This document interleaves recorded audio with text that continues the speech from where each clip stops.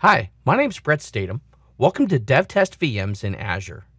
This is the first of four videos that cover DevOps scenarios with Azure and Visual Studio. And in this first video, we're going to look at creating DevTest virtual machines up in Azure. Now, I'll mention that you can get all the files of the slides and demos that I use through this and subsequent videos using the links on the screen. One of the things people assume about running virtual machines in Azure is that it's going to have to be a Windows operating system. And while Windows Server and client operating systems are certainly available, you're not limited to those. We also support SUSE, OpenSUSE, Ubuntu, and OpenLogic distributions, as well as having pre-configured images that already have products installed, like SQL Server, SharePoint, Oracle, and Puppet. In fact, if you're an MSDN subscriber, we have virtual machine images pre-configured that already have Visual Studio installed on both Windows Server as well as Windows 8 client operating systems. And you can create those images a variety of ways. We've got a web-based management portal that even has a fantastic gallery of images and a wizard-based configuration tool. Or you can use scripting languages like PowerShell. So here, for example, this PowerShell script creates a new Azure Virtual Machine configuration, gives it a name and a size, and that's going to help drive its cost. We've got some code that's run ahead of time that's figured out the base image that we're going to use. We can even configure the administrative username and set up a load balanced HTTP endpoint that allows port 80 traffic to come into this virtual machine. We turn right back around and create a second virtual machine that's almost identical, except it has a different name, but it also joins in to that same load balanced endpoint. So now as traffic comes in, we can distribute the incoming port 80 traffic across both of those virtual machine instances.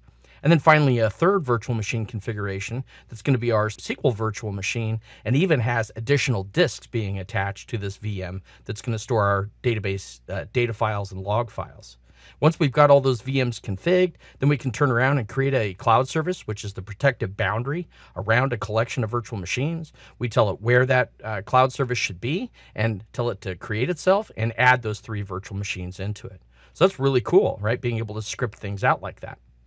And then finally, we support a variety of automation tools. Built into the Azure Management Portal, we've got a feature called Azure Automation, but we also support third-party tools like Chef and Puppet for change and configuration management. And lastly, the virtual machine images that you create are portable. That means that you can actually take virtual machine images that you're already running, say in Hyper-V or VirtualBox or something on premises, and then you can actually use a tool to upload those virtual hard disk files up in a blob storage in an Azure data center. And then you can provision new virtual machines off of those virtual hard disks. You could then turn right back around and take the virtual hard disks that are running up in Azure, copy them down to on premises, and run them in your own hypervisor.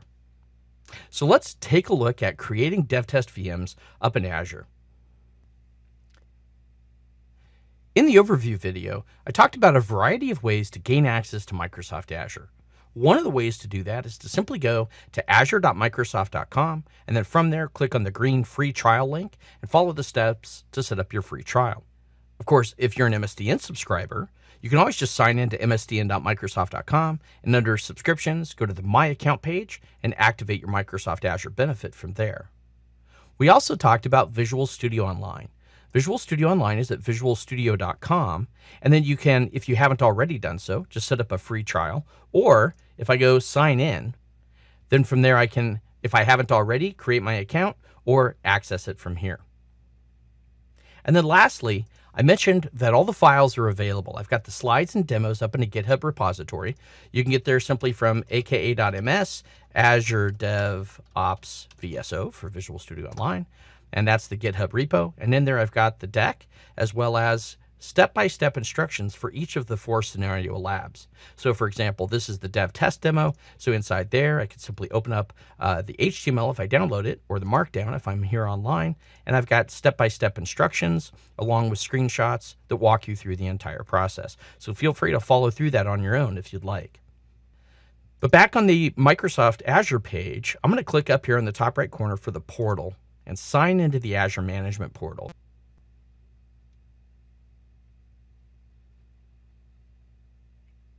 Now, if needed, it would have prompted me for my credentials, but I've already signed in. And you can see uh, that I already have a variety of things configured up in my Azure DevOps Azure account.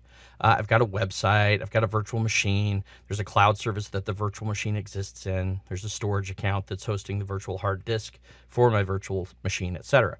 But up under virtual machines, here's the one VM that I already have running.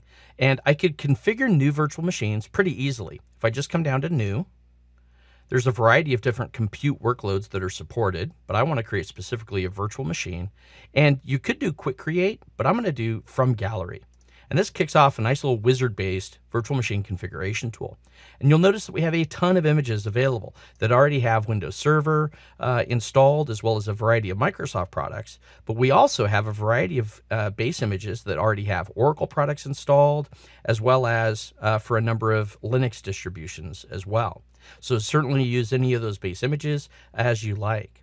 But I'm going to specifically turn on uh, this MSDN filter, and that's going to show me images that are specifically made available to MSDN subscribers.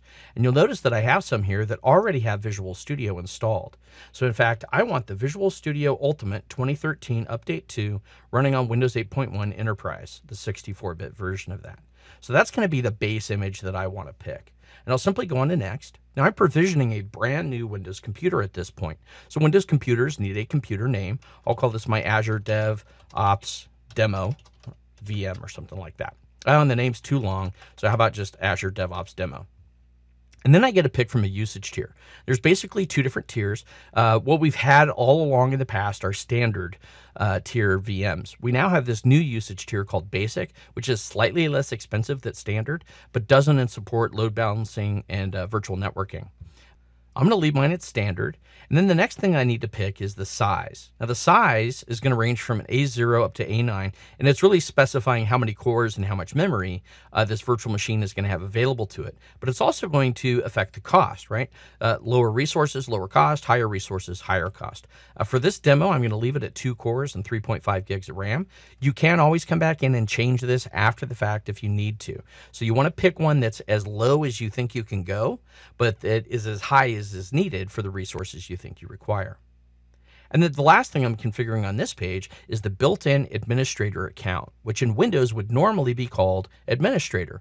But since everybody knows that, it's a best practice to not name it that. And in fact, this wizard will prevent you from naming it administrator. You have to call it something else. So I'm going to call mine dev admin.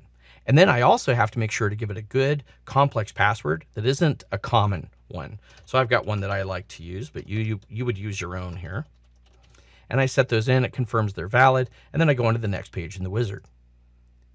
So I mentioned this actually earlier, but virtual machines are wrapped up in this protective boundary called a cloud service. And the cloud service acts as a firewall as well as a load balancer in front of the virtual machines that are inside the same cloud service.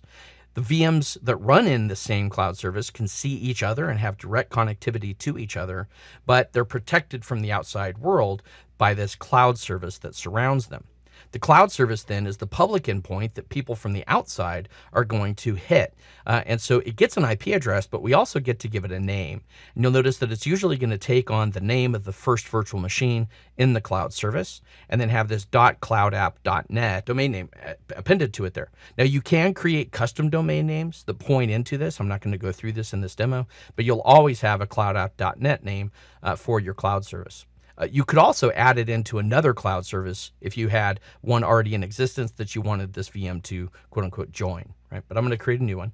And then I get to pick the data center where I want this cloud service and virtual machines to exist. And you'll notice we have data centers around the world. I'm going to pick West US because I'm out here in San Diego. And then you could choose the storage account where the blobs will be that make up the virtual hard disks or VHD files for this. And I'm going to let the wizard just pick one. It's going to use this randomly generated one that it already has created before. If you have a storage account that you specifically want to use, though, you would just pick it from that list. I'm not going to get into availability sets in this demo. And then lastly, I noticed that it's opening up two endpoints through that cloud service protective firewall. It's going to let me remote desktop into this virtual machine using RDP. It's also going to let me use PowerShell to remotely administer uh, this using scripts. So I'm going to leave all that as is and go on to next.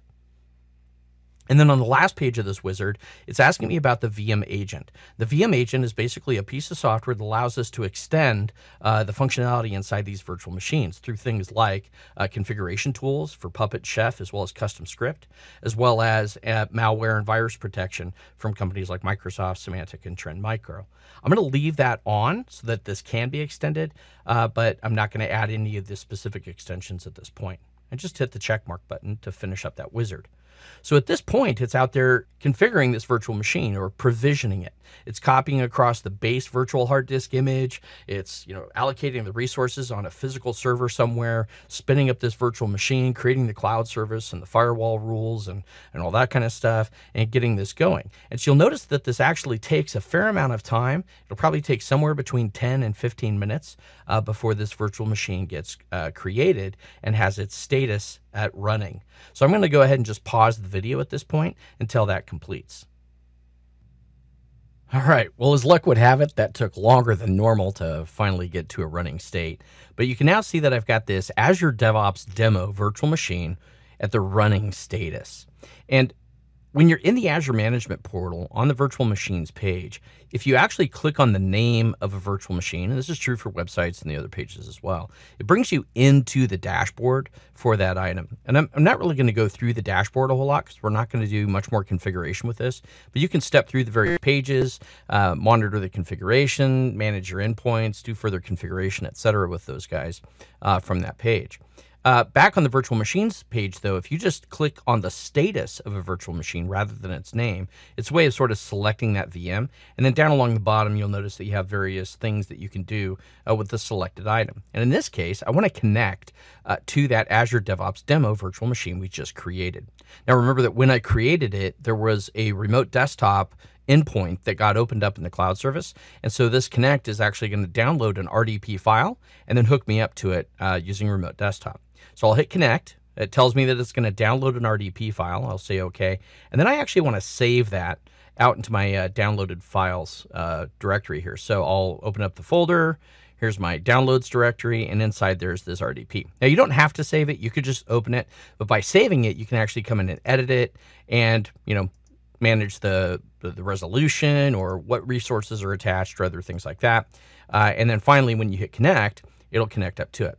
Uh, it doesn't recognize the publisher of this RDP file at first. That's okay. If you want to turn on the box, ask me again, you can. I'm going to just say. And now I need to log in. And so it's asking me who I want to connect as. Remember when we provisioned the virtual machine, uh, we gave it a built-in administrator name of dev admin.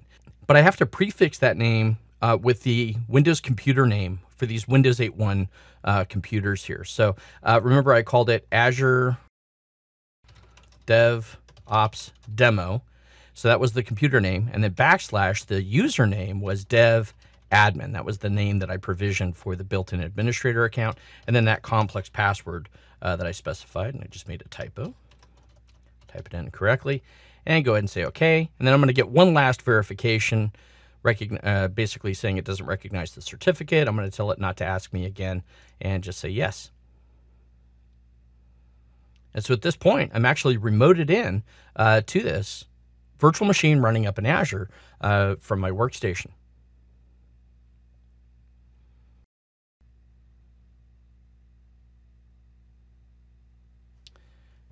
And there I am. Now, in fact, you'll notice that there's a little bit of information about the virtual machine shown for me on the wallpaper. Uh, and that's because if you remember at the end of that configuration wizard for the virtual machine, there was that VM agent checkmark that was turned on. And by default, it actually enables two separate plugins. There's a, a password reset one, and then one that uh, runs BG Info, which is a sysinternal tools that writes some uh, computer information on your uh, background or on your wallpaper for you. So that's where that information came from. Uh, but there it is. Now, at this point, I'm logged in as the built-in administrator account. You could actually just continue that way if you wanted to. Uh, there's a few issues with that, though. First of all, it's not a best practice. You shouldn't be running as the built-in admin. Uh, secondly, uh, the built-in administrator can't do store app deployment on a local machine. So that means if you wanted to do Windows 8.1 app development inside this VM, uh, you couldn't actually debug it because it would try to sideload the app and then it would fail at that point. So in fact, if I jump back over to the instructions in GitHub, uh, you'll notice uh, let me just come down here. We've completed the first uh, one, which was creating the VM. In this next one, we look at configuring security. Uh, and you've got a couple of choices here. You could log in to this VM uh, as the built-in administrator account. But again, it's a best practice that you actually log in as a second user account that can also be administrative, but who maybe is not the built-in administrator. Uh, because as I said, the built-in admin can't do store app deployments. If you tried inside Visual Studio, you'd get an error like this, basically saying that it couldn't activate the store app. So I've got a couple of choices. Again, I could use uh, a regular user account uh, that maybe I just also make an admin, but then I don't get all the great Microsoft account benefits like OneDrive integration, etc. So if you want to use a Microsoft account, you again have to make a choice, and that's do you directly add the Microsoft account or do you have a local account that you then associate with a Microsoft account. And it turns out that that option is actually the easiest. If you try to do Azure, or sorry, a Microsoft account directly, you actually have to change the authentication protocols, which requires you to edit the RDP file settings, and it's a little bit more of a pain. So what I'm going to do is I'm going to jump back over to that VM that I just created, and I'm going to go to the settings for that VM, and I'm going to change my PC settings. And then under accounts, I'm going to create under other accounts a new account. I'm going to add an account. I'm going to call it, uh, or actually down here, I'm going to sign in without a Microsoft account and then verify that I do in fact want a local account. And now I can give it a name. I'll just call it dev user. I'll give it again a good complex password. And then you're supposed to put in some hint. I'll give it a great hint there and go on to next. And uh, I'm not going to make it a child account. I'll finish that up. And then I'm going to immediately go right back into that, edit it, and make sure that it also has administrator privileges. All right, so now I've got that. And now I can go on this VM uh, back to the home page. And I'm going to actually sign out. That's going to break that remote desktop connection uh, to that VM for me. So then I can go back to the management portal, or actually, remember I've already downloaded the RDP file. I can just go ahead and reconnect. But this time, I again want to log in as another account. It's going to be the Azure DevOps Demo Dev user that I just created. Type in the password correctly.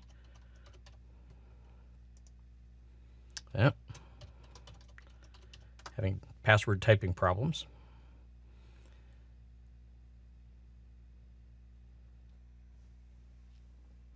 All right.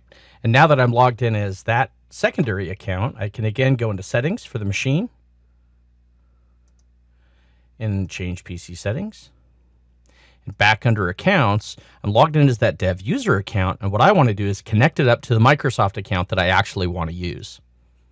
And so I'm going to use this Azure, oops, sorry, I've got to confirm the local password.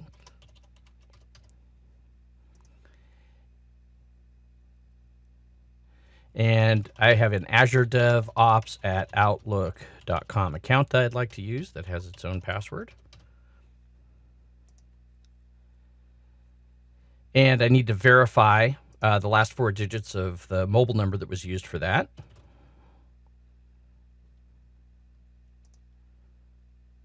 And I should now on my cell phone, and there it is, have received a text with the code in it.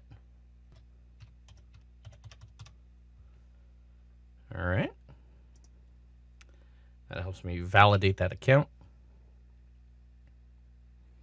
And it lets me know that uh, now I'm, I'm synced in. I'm going to start using OneDrive for my storage, etc. And uh, that it's going to switch that account over. I hit switch. That may take a few minutes. All right.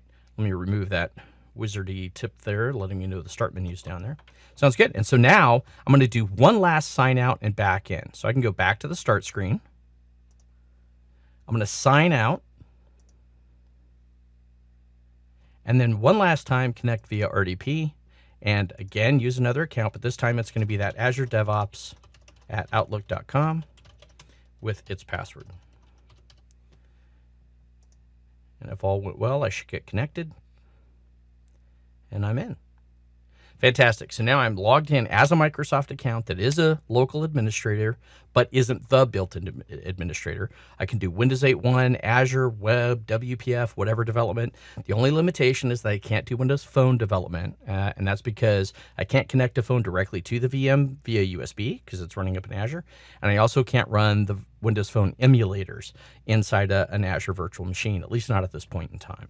So, but otherwise, I'm set up and I'm ready to go. Uh, because I used the MSDN image that already had Visual Studio installed, I've also already got Visual Studio ready to go. So I can just launch it. And then I want to sign in, so I can sync this up to my Visual Studio profile using my Microsoft account.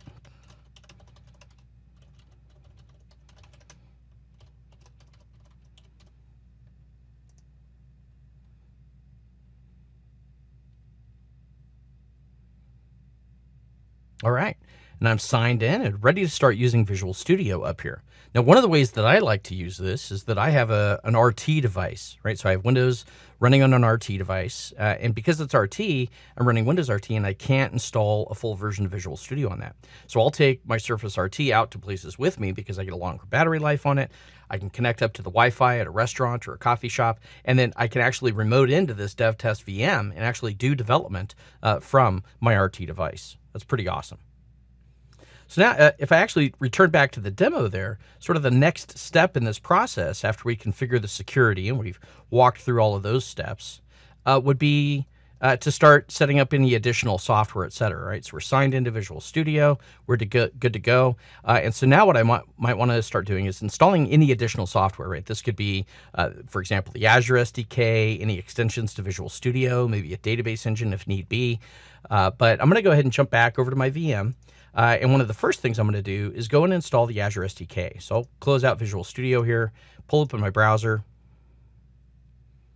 And if I just go to, I'll use the recommended settings. Oh, in fact, real quick here, notice at the bottom here, it's uh, telling me that I have some add-ons that are ready for use. And this is actually important for uh, some of the subsequent demos here, specifically load testing. But I'm going to go into choose add-ons and I want to make sure to enable uh, the web test recorder uh, uh, helper and the web test recorder itself, uh, because we're going to use that later on when we do load testing. So I'll go ahead and enable them now just to make sure that they're there, and I'm good to go. All right, uh, and so again, back on track, we're look, talking about installing the Azure SDK. So I'll just go to azure.microsoft.com.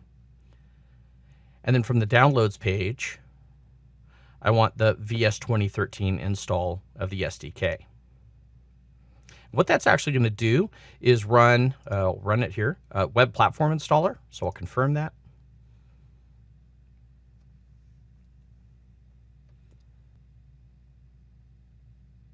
And just hit install and accept.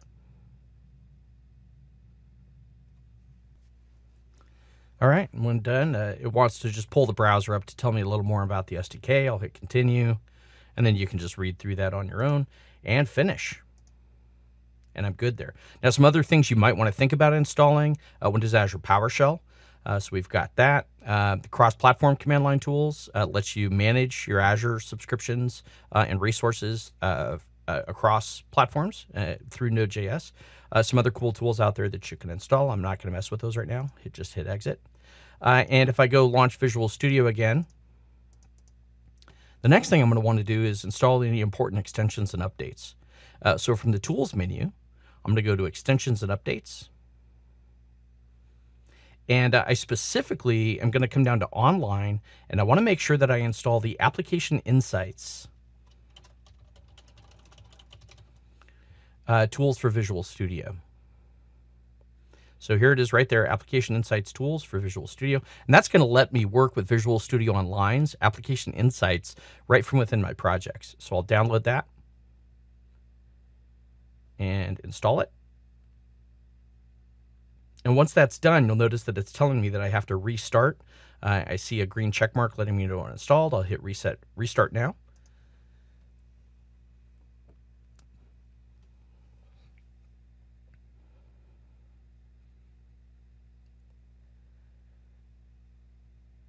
and it restarts Visual Studio and lets me know that it's been installed. All right, awesome. So the last thing would be to jump right back up into uh, extensions and updates. And under the updates node, start installing any of the updates uh, that are available. Again, you might want to skip uh, the Windows Phone 8.1 emulators, though, only because you're not going to be able to use the emulator from within uh, this Azure VM right now. So no, no reason taking up the space or the time to install those. But otherwise, go through and install all the other ones and follow the prompts as needed. All right, so I can now use this guy to do development.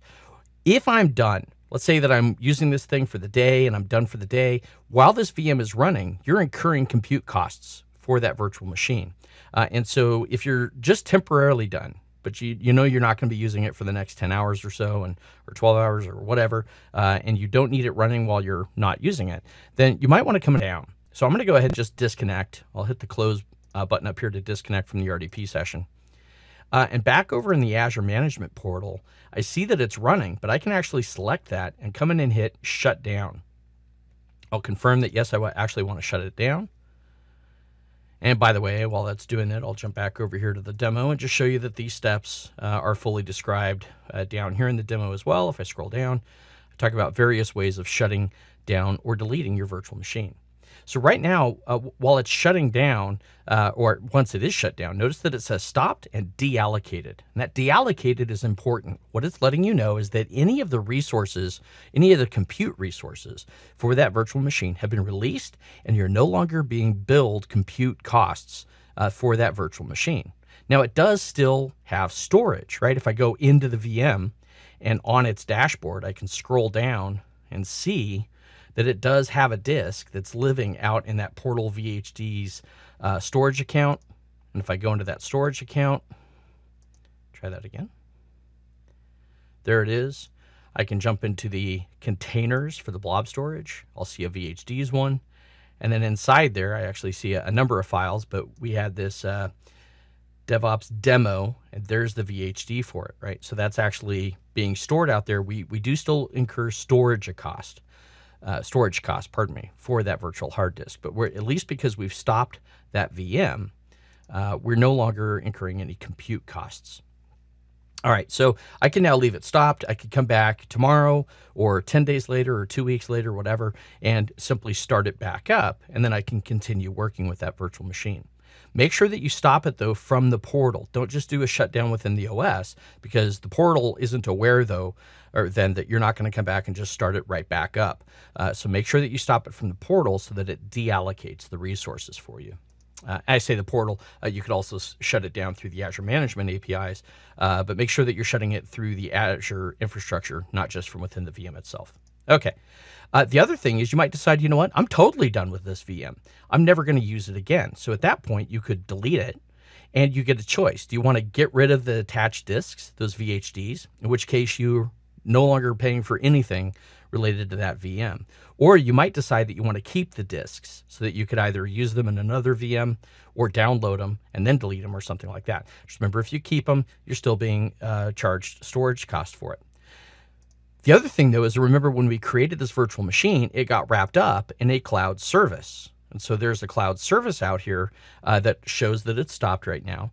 Uh, and it only has one VM in it right now, but it could have had multiple VMs. And what if you were done with the whole thing? You said all of those VMs that were associated with each other were totally done with it. So in that case, you could choose to just delete the cloud service and everything in it. If you delete the cloud service and its deployments, and that's the one I'm actually going to do here, I'll get prompted uh, letting me know that it's going to delete that and that it's going to delete all the VMs and all the disks in it, etc. Am I sure I really want to do that? And uh, because I'm going to turn around and use this later on, I'd say no. But if you said yes, it would delete the cloud service, all the VMs, all the VHDs, everything, and you're good to go. And then lastly, I can go back to the VM that I had. I can tell it to start back up. And it'll boot it up, take a little bit of time, but that VM will be ready for use again. All right. Well, hopefully that's given you a good idea of how you can create virtual machines in Azure and use them to extend your dev test workloads. Got a few go-dos for you. Remember that there's other scenarios, and I've got videos for each of those around continuous deployment, application monitoring, as well as load testing. So make sure to check those out.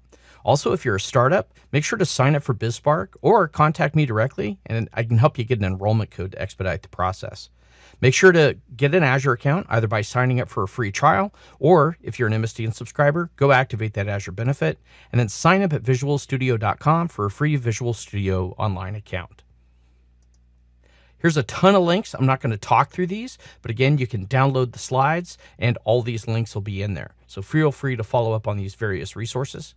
And as I said, remember that there's other videos out there around these other scenarios. So make sure to follow up and watch those. And I hope to see you there.